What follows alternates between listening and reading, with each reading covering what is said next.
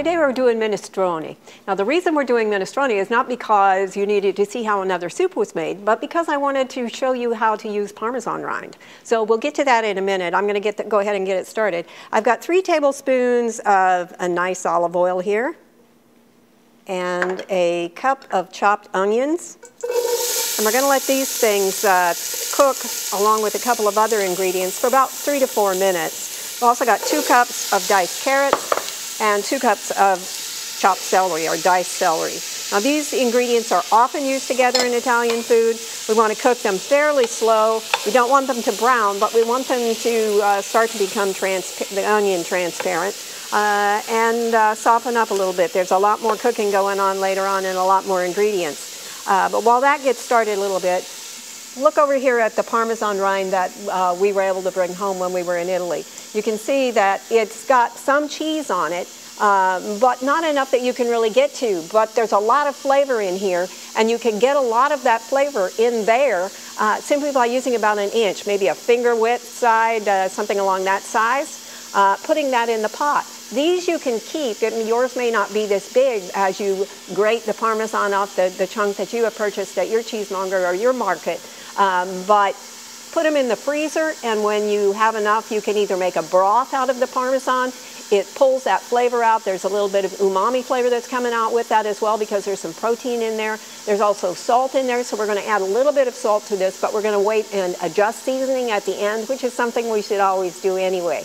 Uh, so these are to me uh, almost priceless, not because I brought it home with me when we were in Italy, but because there are so many things you can do with it.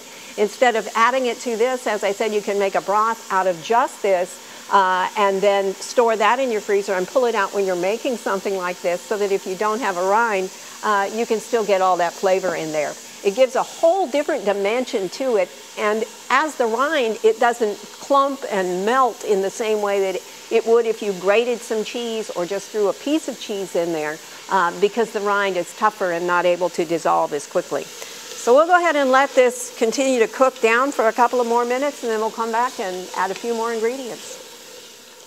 Next thing we're going to add here is some garlic. Now this is four table or four cloves of garlic, which would equal about four teaspoons of garlic if you buy the, the convenience version that's already chopped up for you. Um, I tend to uh, look for recipes for uh, our segments that don't have tons and tons of ingredients on them.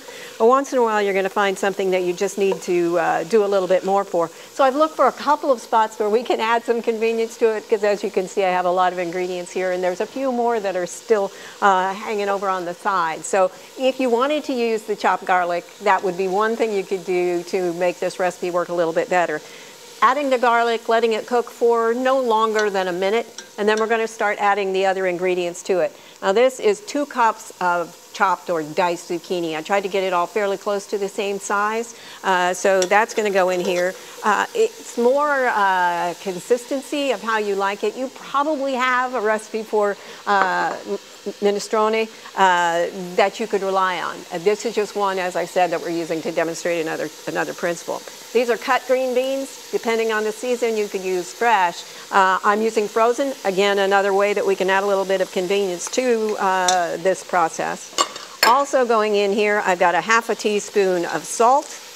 And I use kosher salt. Again, remember we can adjust the seasoning later on, and you should adjust the seasoning later on, but you can't take the seasoning out once it's in. So add smaller amounts and then increase. I'm also adding a half a teaspoon of pepper, a teaspoon of paprika, and here you can make changes uh, with the recipe based on the kind of paprika, whether you got one that was really hot or smoky. Uh, and then I'm going to add half a teaspoon of rosemary. Now I'm using dried rosemary here, but I'm going to crush it up a little bit, uh, partly because I don't like big things poking at me when I try to eat it, and these don't soften up completely. But also it helps release the flavor, and that's the primary reason. So uh, crushing it up a little bit, uh, you could use a mortar and pestle and do it e even more finely. I don't really think that's necessary here, so I'm just going to stir those in together.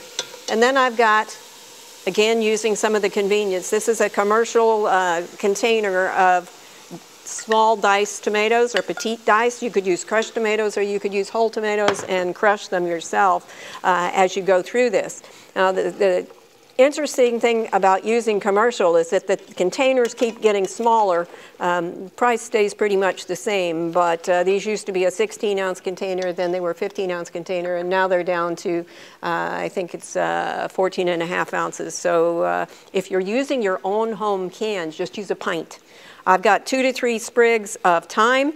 I'm adding a bay leaf, and I've got six cups of I'm using a reduced salt um, commercial uh, chicken broth. You could use a, a, homemade one. Again, it's just six cups. You could use a different kind of broth if you chose. You could use a vegetable broth if you were trying to um, go closer to a, a vegetarian uh, recipe. Now, the thing we're going to add at this point uh, is our Parmesan. So you can see I've just got a little chunk. I want to add it, it as this chunk, not grate it up. Uh, and you have options once you put that in there. It's not going to uh, dissolve in here in all probability. You're going to, it's going to be retained. So there's some things you're going to want to take back out before you serve. Uh, one would be the bay leaf. Uh, the next one, uh, the leaves are probably going to fall off the thyme, but you're going to have to find the thyme sprigs that you put in. So it's a good idea to remember how many you put in in the first place. And then that cheese, uh, you don't have to take the cheese out. It's going to not dissolve. It's probably going to stay in a chunk. It becomes chewy, but it's edible. So depending on the occasion, uh, if you're having people in for a more formal event, you may want to take it out. Uh, if it's just family, you may want to leave it in there and uh, share it uh, as part of the meal doesn't look all that attractive when it's done, but it's really, really good. So uh, we're going to leave those. Uh, we're going to bring this up to uh, a, a boil then reduce it to a simmer and let it go about 20 minutes. Now you may think that because we have so many ingredients that this has taken a lot of time, but this has only been cooking for, oh, probably about 25 minutes. So by the thyme you get to that point, uh, it doesn't take very long and you can do a lot of uh, that preparation ahead. Now I'm going to leave these in for a little bit longer, but you can see that most of the leaves have, are uh, falling off or have added their flavor to the soup as far as the time is concerned. I've got a can of uh, kidney beans or you could use uh, two cups of cooked kidney beans that you have cooked ahead of time and put into the freezer or you've got them left from earlier in the week. Uh, and I'm using a dark red kidney bean because I think it adds uh, more color.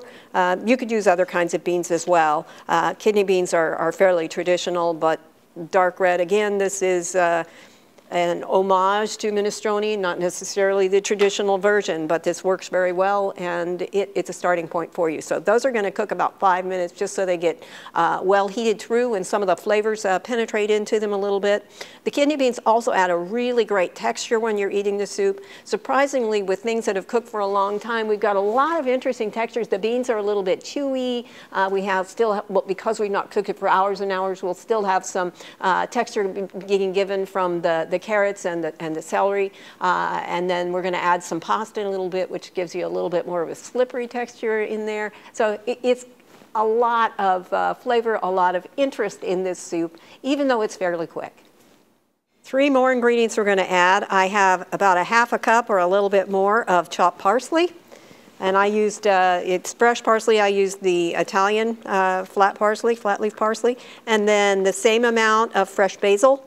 And if you don't happen to have fresh basil, maybe the season is wrong or uh, it's not available at your market or it just doesn't look good, you could use dried basil but add that earlier on uh, and uh, in oh, probably maybe a tablespoon and add it when you added the rosemary later on so you had time to uh, get the flavor out of it. And then also I'm going to add two cups of cooked pasta. Now, some recipes for minestrone add the pasta and let it cook as it goes. This one uh, is again one of those things where you could already have that done. This just needs to be heated through since it's already cooked. So by the time you get it stirred in, it's pretty much, uh, you're pretty much ready to serve the soup uh, at this point in time. Uh, what we have here is minestrone. We have a great amount of flavor that we've pulled out of the rind of the Parmesan cheese. So I hope you'll give this a try. I'm going to add a little bit more Parmesan to it as a, as a garnish and you would probably want to serve this with some crusty bread. Uh, I hope you'll give this one a try. It's a very simple uh, minestrone uh, for Oklahoma Gardening. I'm Barbara Brown.